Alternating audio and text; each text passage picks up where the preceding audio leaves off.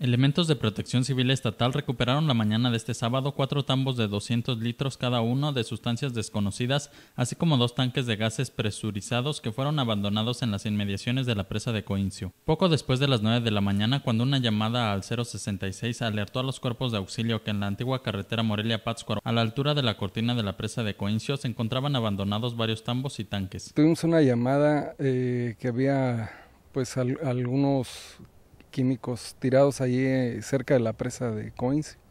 Eh, nos trasladamos y eh, efectivamente son, son, desconocemos qué tipo de producto químico puede ser y por seguridad los, los recogimos y bueno, será la autoridad competente la que determine qué, procede. Al lugar acudieron elementos de protección civil estatal quienes confirmaron que se trataban de tambos con sustancias tóxicas en su interior, por lo que determinaron resguardarlos para evitar cualquier riesgo a la población. Son, son, cuatro, son cuatro tambos de 200 litros y dos eh, tanques eh, para gases presurizados.